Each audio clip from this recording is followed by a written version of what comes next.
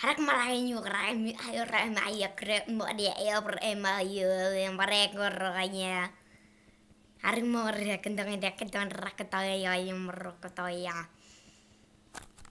His own language, ladies and gentlemen.